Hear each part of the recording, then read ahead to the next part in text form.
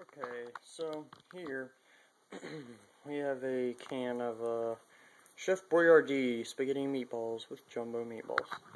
So let's uh, let's uh, get this out, shall we?